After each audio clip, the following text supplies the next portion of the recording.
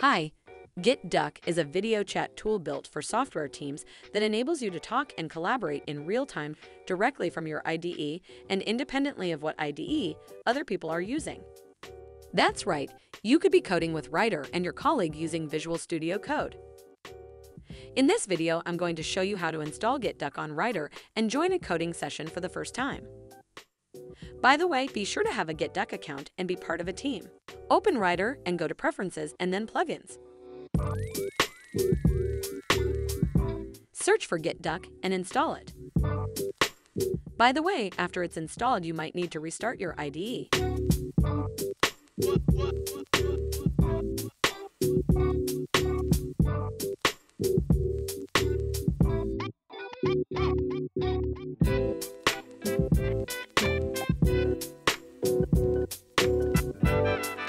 Now you should be able to see here at the bottom right of your IDEs the option to log in on GitDuck.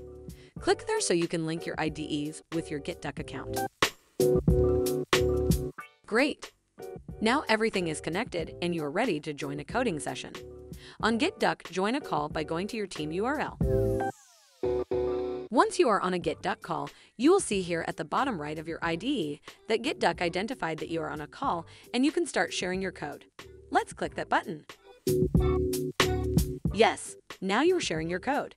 Any file that you open will be automatically shared with anyone that joins your call, and they will be able to edit your shared files in real time. If you go to the GitDuck app, you will see that your code is being shared there, so even if your colleagues don't have the GitDuck plugin installed in their IDE, they could also be collaborating with you. If they have the plugin installed in their IDE, independently of what IDE they use, they would be able to do pair programming with you. Let me show you the options that you have with GitDuck. At the top, you can see the files that are opened by the people on the session. Below, you can see the, the shared file system. With GitDuck, you can share a specific file, multiple folders, or the entire project. After that, you can see who is on the coding session with you. The last section contains the buttons to share a folder, the project, or to stop sharing. You can also exit the coding session by leaving the call or clicking on the GitDuck button at the bottom right of your IDE. Another option that you have is to be able to follow a developer. If you're following someone, you're going to be seeing every file they open or every time they navigate their code. That's all you need to know to share your code in real time with GitDuck and Rider. Thanks for watching.